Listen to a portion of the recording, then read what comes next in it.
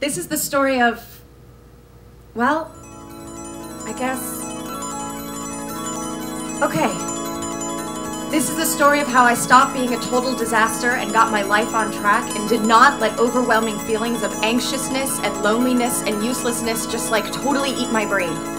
My name is Sherry, and this is my home. Welcome. This is my sister Grace.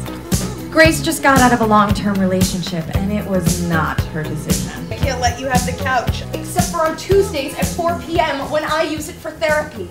Hi, I'm Sherry Wickman, Wanda's daughter. You look like her. Your mother and I go way back, you know?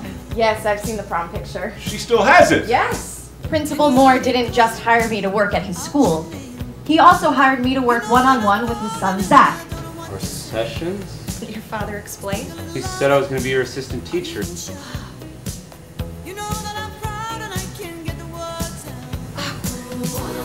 Look, this popsicle stick thing sucks. One kid fell asleep while gluing his popsicle stick roof together.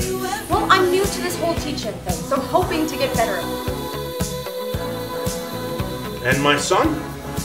Well, I think he's gonna be a real